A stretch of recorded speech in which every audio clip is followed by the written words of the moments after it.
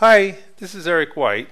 This is the third in a series of screencasts on adding and updating tables of contents in OpenXML WordprocessingML documents.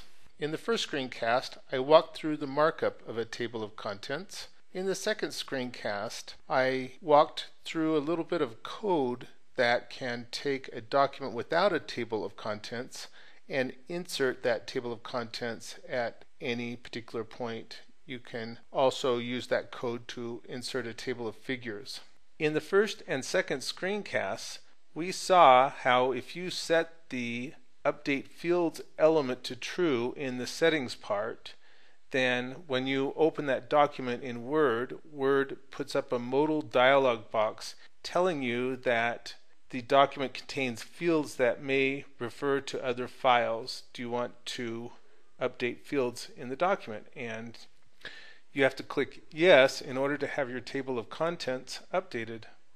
In this screencast, I'm going to show how you can use word automation to get around that problem.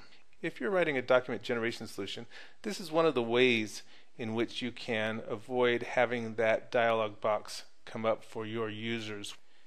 In the blog post on OpenXML Developer that introduces this video, there is an attachment that contains all the code that I've talked about in this video. And in addition, there's a Visual Studio 2010 project that you can use to build the example.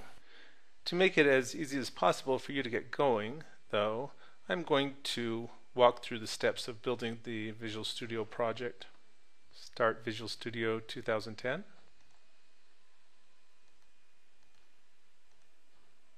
Create a new project. I'm creating a Windows console application. I'm using the .NET Framework 3.5, but you can use 4.0 just as easily.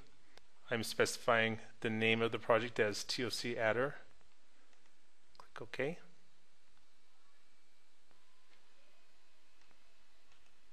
we need to add references to the OpenXML SDK.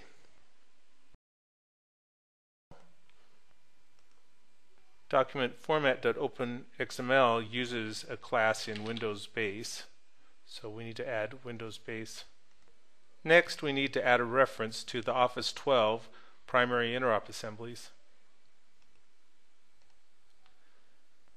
You'll find these under the .NET tab.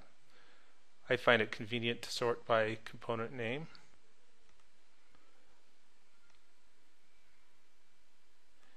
And we're looking for microsoft.office.interop.word. When you install Office 2010, it installs two versions of the primary interop assemblies. There is version 12 and there is version 14. We are not using anything that requires 14 so we may as well use 12. This means that your program will run equally as well on a computer that has Office 2007 installed and a computer that has Office 2010 installed. I'm going to go grab the source files out of the directory that you get when you download the zip file that is the attachment. I need this TOC adder example 2. I also need to go into TOC adder and I need to grab pt openxmlutil.cs, pt and toc adder.cs.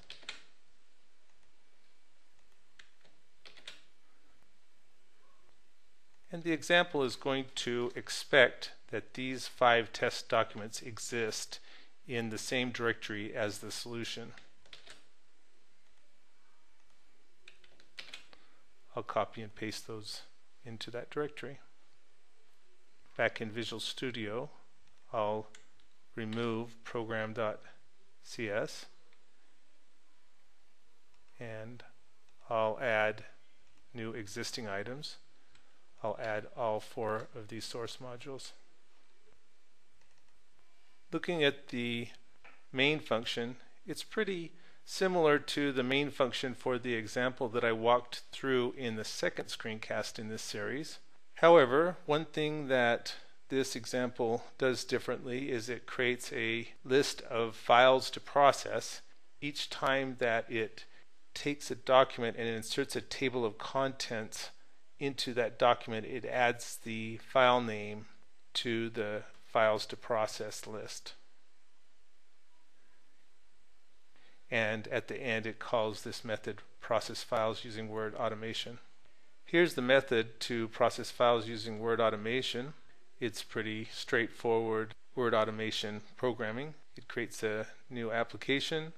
It sets the word application to be invisible and then it iterates through all the file names in that list of file names, puts together a new file name that the test document will be saved under.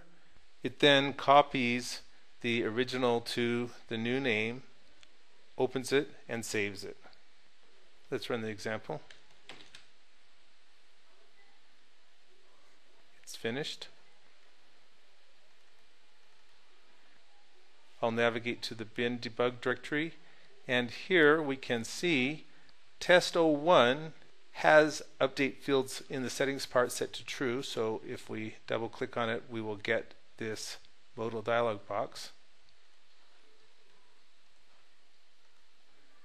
Test 01 dash converted using word automation no longer has the update fields element in the settings part. The table of contents is updated and it won't put up that modal dialog box.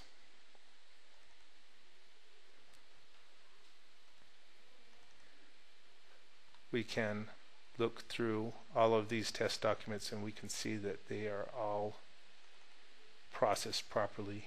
Here's the test document that had a table of figures inserted into it. That's all I'm going to cover in this screencast.